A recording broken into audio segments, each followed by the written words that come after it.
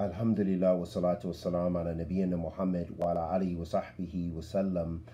Amma ba'da uh, from the lessons that we can learn about love, about muhabba and muhabbat nas, you know, loving one another, and muhabbatillah and loving Allah subhanahu wa ta'ala, which obviously are two different things which we need to take heed of and learn the differences.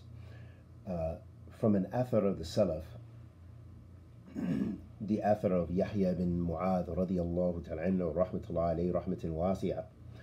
He said, حقيقة المحبة أنها لا تزيد بالبر ولا تنقص بالجفاء.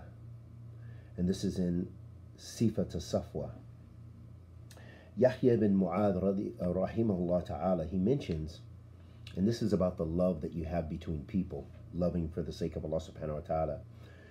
He says that the real love is that it doesn't increase with a righteous deed or with, with goodness towards a person, nor does it decrease with uh, maybe harshness towards the person.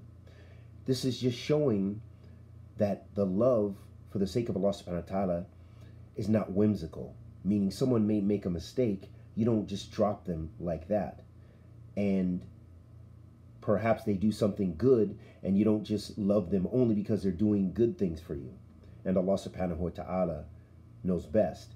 As far as love for the uh, for Allah subhanahu wa ta'ala, meaning loving Allah subhanahu wa ta'ala and trying to gain his love. Before we read another athar of the Salaf, let's look at what Ibn al-Qayyim mentions. He mentions 10 things that are the reasons for attaining Allah subhanahu wa ta'ala's love. So we need to write this down. We need to write this down or at least concentrate and contemplate and strive to implement these things in our lives. He mentions the first thing, Ibn al-Qayyim mentions, he says that the, the things that one will gain the love of Allah subhanahu wa ta'ala, he said the first thing is reading the Quran, reading and reciting the Quran, contemplating it, understanding its meanings, and desiring to understand it and practicing it. He said the second thing is a taqarrub ilallahi bi nawafil ba'd al-fara'id. He said it is the second thing is to seek to draw nearer to Allah by doing the extra prayers and extra ibadat after you do your fara'id, your wajib, your wajibat, meaning instead of just your five daily prayers to pray those sunnah prayers. That's your nawafil. Instead of just fasting Ramadan, fasting the six days of Shawwal and fasting the other times, fasting Mondays and Thursdays, you know, increasing your ibadah, the extra uh, duties. This will also help you to gain the love of Allah. He mentioned the third thing. He said, Dawam dhikrihi ala kulli hal bilisan wa qalb wa amal wa hal. He said, and the the third thing is continual, making it a continual practice to uh, remember Allah subhanahu wa ta'ala, make dhikr. Subhanallah, Alhamdulillah, Wallahu Akbar. All the various forms of dhikr and adhkar to remember it under all circumstances, with the tongue, with the heart, and through our deeds. He mentioned the fourth thing, fourth way to attain the love of Allah subhanahu wa ta'ala is to do the things that Allah subhanahu wa ta'ala loves when your desires are telling you otherwise. So it's to uh, to flee from your desires from the from especially when they're sinful desires and going to the to the things that Allah subhanahu wa ta'ala loves, meaning righteous and good deeds.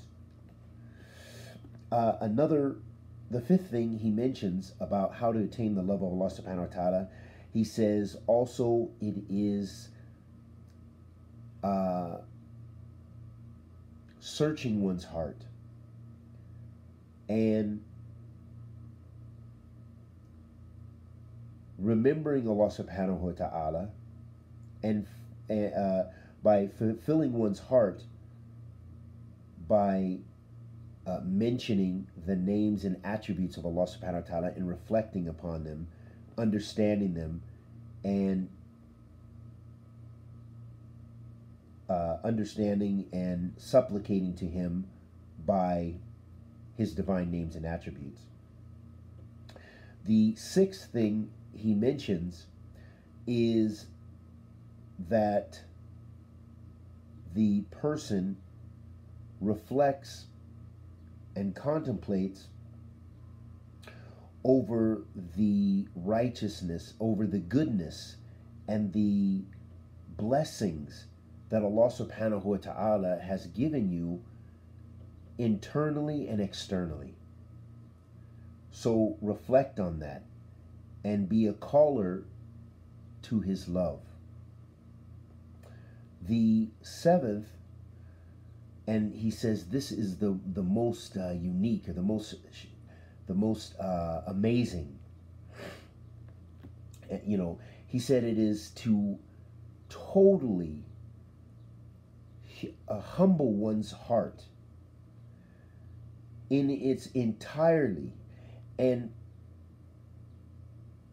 put one's heart, open one's heart, and giving it totally to Allah subhanahu wa ta'ala by being humble and doing those things which please Him, tabarak wa ta'ala, and totally relying on Him, subhanahu. The uh, eighth thing that he mentions is to separate oneself when during the separate and and be alone. You know uh, almost meditating and being in a meditative state away from people especially during the times when Allah subhanahu wa ta'ala descends to the lowest heaven. So as we know from the hadith of the Prophet wasallam in which he said yanzulu rabbuna tabaraka wa ta'ala uh, ila sama dunya kullu thuluth al-layl al-akhir that the Prophet ﷺ said that our Lord descends to the lowest heaven every last third of the night. And then he asks, and he, he, he asks, who's seeking my forgiveness? I forgive him. Who, you know, seeking my mercy? I will give him mercy. And who's, who's asking of me? Who's supplicating to me? And I will give him. So this, these times, these special times after Fajr and in the depths of the night, being alone and humbling yourself and worshiping Allah subhanahu wa ta'ala, that these things will gain you help gain the love of Allah subhanahu wa ta'ala. And the ninth thing is to sit with those who are beloved to Allah subhanahu wa ta'ala, those who are beloved and those who are truthful. So perhaps this would be the people of knowledge sitting in the circles of dhikr, meaning the circles of ilm, and the circles of, you know, those who are, you know, being in the good company of people who you love for the sake of Allah subhanahu wa ta'ala because they are people who illustrate goodness and they practice and appear to have great goodness and, and taqwa. So being in those those gatherings, this will also help you to gain the love of Allah subhanahu wa ta'ala. And being in those gatherings means that you will gain the benefit of, of those gatherings and that you won't speak unless there's a benefit to speak. You know, don't uh, have kalam illa walau kana fi uh, illa yani if there is only uh, kalam that there is benefit in in the speech that you're uh, you're speaking. So not wasting time in gatherings where it's just sin, sinfulness. And then he mentioned the last thing. He said, "Muba'ida kullu sabab yuhawul bain al-qalb wa bain Allah azza wa jal." Bitasarraf. Uh, Naam. So he says that the last way to gain the love of Allah subhanahu wa ta'ala is that a person is far away from every reason that will come in between your heart and Allah subhanahu wa ta'ala. So that you are, if, if there's gatherings and if there are people who only have negative and only spread evil and wicked uh, wicked speech or just wasted speech or a waste of time, you know, they're taking up valuable time that you could be spending that time trying to draw nearer to your Lord subhanahu wa ta'ala. So you want to be away from those types of gatherings that are negative and based upon evil Uh, Imam Ahmed, rahimahullah ta'ala, he, in his book, Az-Zuhd, uh, it was mentioned a narration on قال مطرف ibn Abdullah ibn Shukhair rahimahullah ta'ala and he said إن أحب عباد الله إلى الله الشكور الصابر الذي إذا أبتلى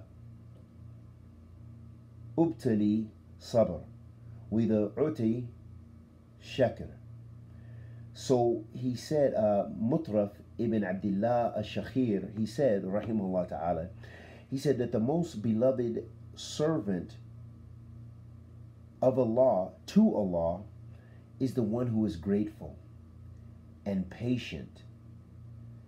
And that when he is tested, he is patient. And when he is uh, given something, you know, a blessing, he is thankful. And we ask Allah subhanahu wa ta'ala to bless us, bless us to be of the shakirin and the sabirin. وصلى الله وسلم على نبينا محمد